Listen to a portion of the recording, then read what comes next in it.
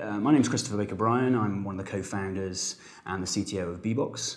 Uh, BBOXX was founded in 2010 and our, our aim is to uh, design, uh, manufacture, uh, distribute and finance off-grid solar systems to the developing world.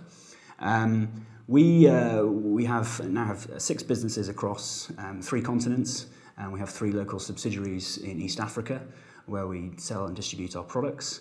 And we now employ over 140 people around the world. 35 of those people are based um, here in the UK.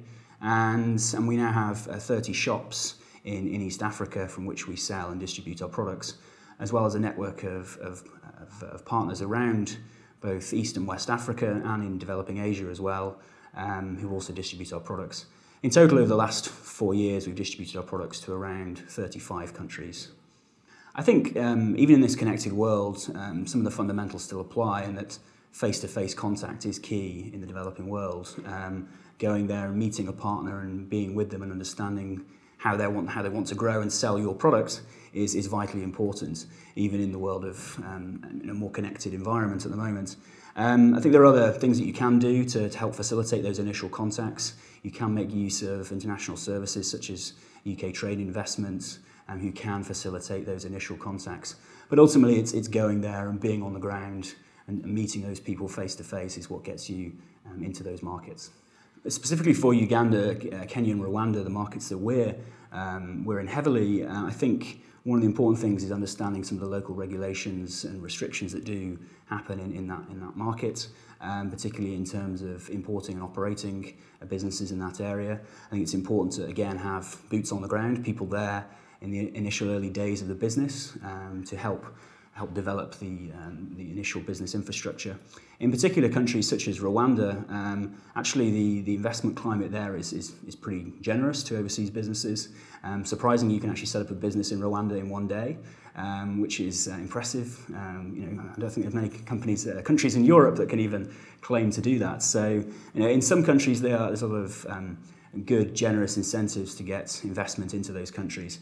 But I think one of the key things that we we seem to see over the last few years is the recruitment of good HR locally in East Africa. It can be a challenge, you can find it, but it's important that you really find that top team and you invest really in really key people right from the beginning of the business because it's those key people, uh, those key local people that are going to be watching over your business. You can't be there 100% of the time in the local market and uh, you've got to find and develop those key people right from the beginning and really invest in them. I think um, I think you're looking for people that have an understanding of what a Western business is like to operate. I think people that have worked, particularly for there's a, there's a large um, uh, a large thing in Africa of NGOs and government organisations, um, Western aid agencies. Often people that have worked for them, they understand how a Western style company works and operates, and I think that's actually quite important. So if you can find somebody with that experience um, they're very valuable, valuable usually, and uh, if you can hold on to them and claim them and make them yours, then um, that's, that's probably one of the best ways of growing that top team. One of the also the key things I think is investing into IT systems that are specifically designed for our market. Um, so investing into, as I said, mobile phone smart, uh, smart applications, uh, allowing our sales agents to manage their clients using a, using a phone, all these sort of things which allow us to um, sort of leapfrog uh, traditional technologies uh, and go straight into um, systems which uh, allow us to operate much more effectively in, a, in, an area where logistics and communication services have, have an issue.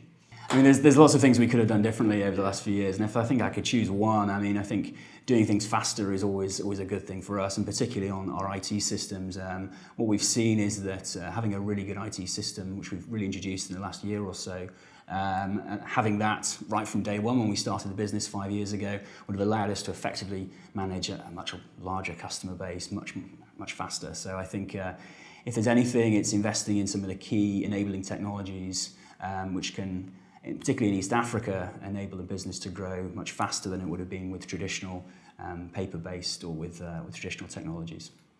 So this is the BB17. This is one of the key products that we've been working on over the last 18 months. And we've actually uh, developed this from initial range. This is initial product we developed five years ago now.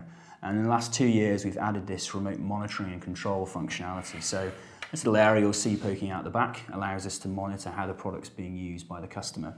Um, so we're constantly able to see how they're discharging the product.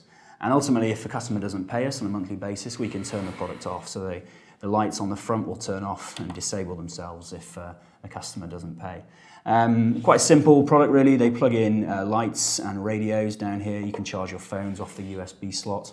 Inside it's uh, very simple. You have a, a, battery, a large battery inside with some electronics uh, which help us to control the power distribution to, to the customer and charge the battery and then also monitor and control the system remotely. Um, this is uh, a product which we've been working on, as I said, for the last two years. It's gone through several iterations now.